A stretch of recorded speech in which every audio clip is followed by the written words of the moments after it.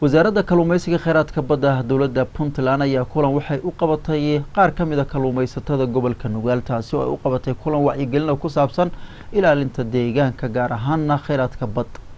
suwasgaacita ayaa warkaasi inoo sii faahfaahinaysa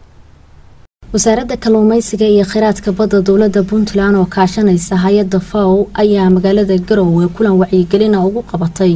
kalluumeysatada gobolka nugaal si loo badbaadiyo xaalufka iyo jariifka sharci darada ah ee xeebaha puntland kulankan oo socon doona muddo laba maalmood ah ayaa lagu gorfayn doonaa ka hortaga kalluumeysiga sharci darada iyo burcadbadeeda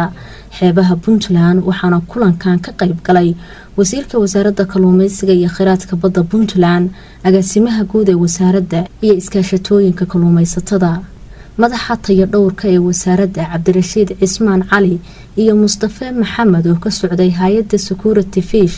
iyo nabadoon maxamed cabdulaahi ayaa si wada jira uga warbixiyey muhiimada kulankan iyagoo uga mahadceliyey wasaaradda dadaalada ay wado ee lagu horumarinayo kalluumeysatada reer puntland. Mashruucan waxaa si kaashaday wasaaradda kalluumeysiga iyo hay'adda faw wuxuuna ku saabsan yahay in masiibadii hore inoo soo martay oo ku saabsaneed burcadbadeeda inaana dib inagu soo noqon. Barnaamijka waxyaalaha uu qabanayana waxaa ka mid ah in wacyigelin loo sameeyo dadka xeebaha. Dhalinyaradii xeebaha joogtay dib loogu celiyo inay kalluumeysata kalluumaysadii dib ugu noqdaanin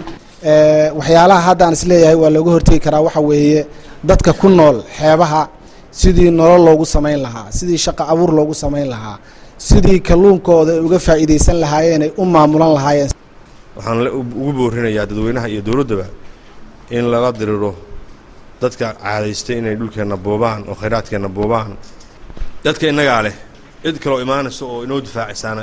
ma jirto agaasimaha guud ee wasaaradda farxaan cali xirsi iyo wasiirka wasaaradda kalluumeysiga iyo kheyraadka badda dowladda puntland faarax maxamuud xawaash ayaa sheegay in mashruucan looga hortegayo kalluumeysiga sharci darada ah iyo burcadbadeeda uu soo socday muddo haatanna loo baahan yahay in lagu dardargeliyo si looga gaashaanto in la gurto kheyraadka kalluunka ee ka buuxa xeebaha puntland. Mashruucan si kaabka la yidhaahdo ama la dagaalanka kahortaga burcadbadeeda iyo kalluumeysiga sharci darada ah oo iska kaashanayaan wasaaradda kalluumeysiga kheyraadka badda puntland iyo hay'adda faw waa mashruuc labada kun iyo lix iyo tobankii soo bilowday muhiimaddiisuna ahayd in looga hortago inaan bulshada reer puntland iyo guud ahaan bulshada soomaaliyeedba aysan dib ugu soo noqon burcadbadeedii